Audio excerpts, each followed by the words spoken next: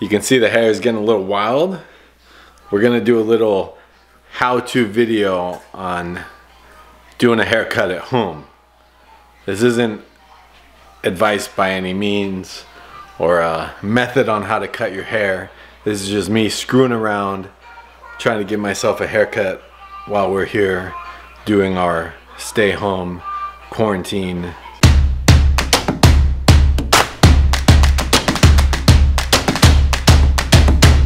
And I have no idea what I'm doing. I've got these clippers here that I've had for a long time, but I've never really actually used them.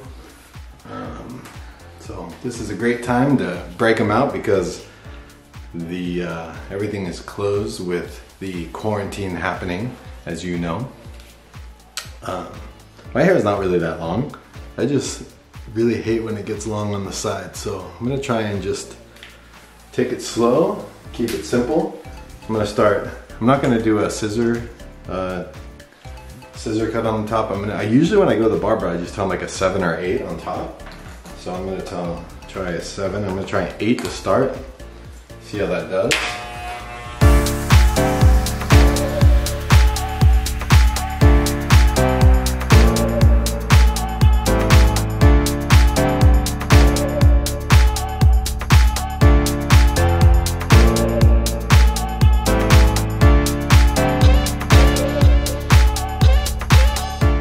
Top is looking pretty good. That's a pretty good length. I'm usually like a finger length type of guy. Um, the sides is gonna be hard. That's where it's gonna get real complicated. That's where I can really, really screw this up. I'm gonna, I usually do like a two or three on the sides, kind of get it blended. But I'm gonna start with a four because obviously we can't undo anything. It's so much easier for guys. You know, if I screw this up in a week or so, you won't even notice.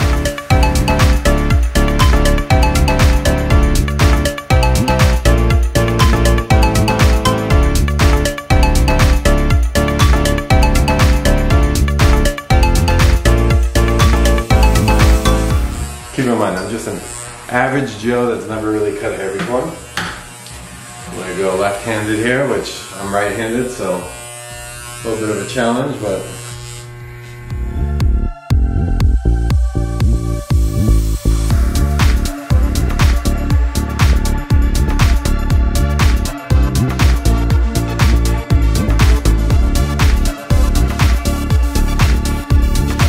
All right, so we're going to a three.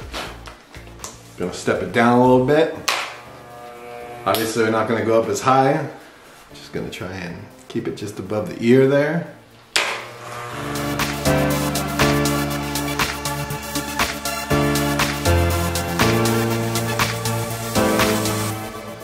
Did you ever think about the way we will adjust, the way like this pandemic, the way we've been quarantined will probably affect us for years to come, like similar to maybe the way people lived through the Great Depression, which I think was probably even even worse time back then.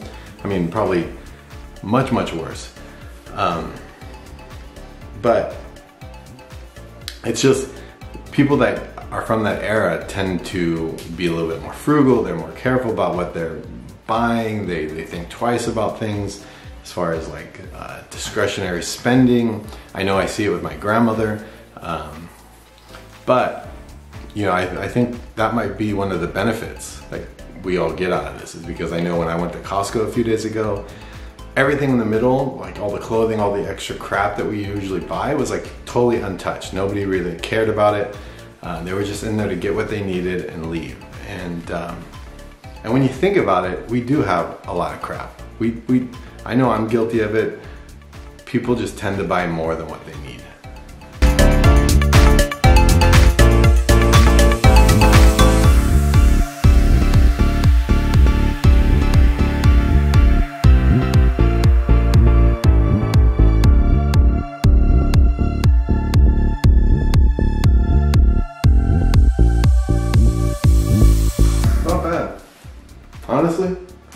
I've been some, I've been to some chain uh, haircut places in the past that have given me much worse haircuts than this. All right, so we're gonna finish it off with a two here. Just very, very, very, very, very subtle. Very, very, very limited.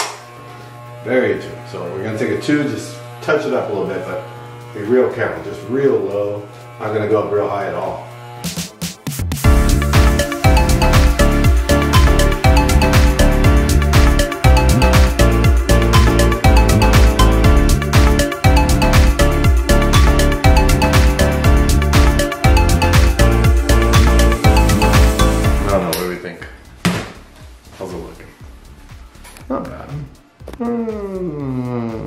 Blend that a little bit better. This is probably a little better, but hey, this is how I normally style my hair. Just spike it up a little bit. It's not, not, not great, but it's not bad. I mean, for a first time haircut, I think, uh, I think it came out all right. I kind of just screwed it up over here a little, a little too short, but whatever. It's gonna grow back in a week and we'll still be here on quarantine.